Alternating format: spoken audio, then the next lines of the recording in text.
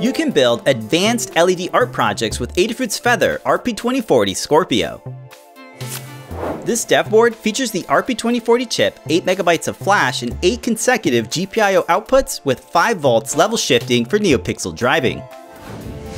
Thousands of LEDs can be controlled with the RP2040's PIO peripheral. Our 3D printed case snap fits together and features mounting tabs. It also has openings for USB-C, a battery cable, headers, and wires. All you need is just two hardware screws and nuts to secure the PCB to the case.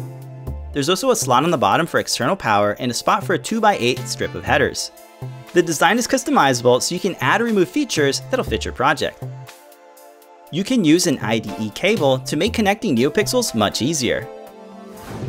We were able to power this holiday project using a USB power supply and 8 NeoPixel strips plugged into a small Perma Proto board.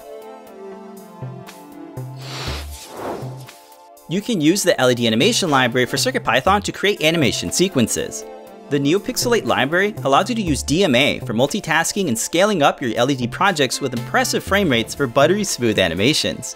You can get the example code and learn more about the Feather Scorpio by heading over to learn.adafruit.com.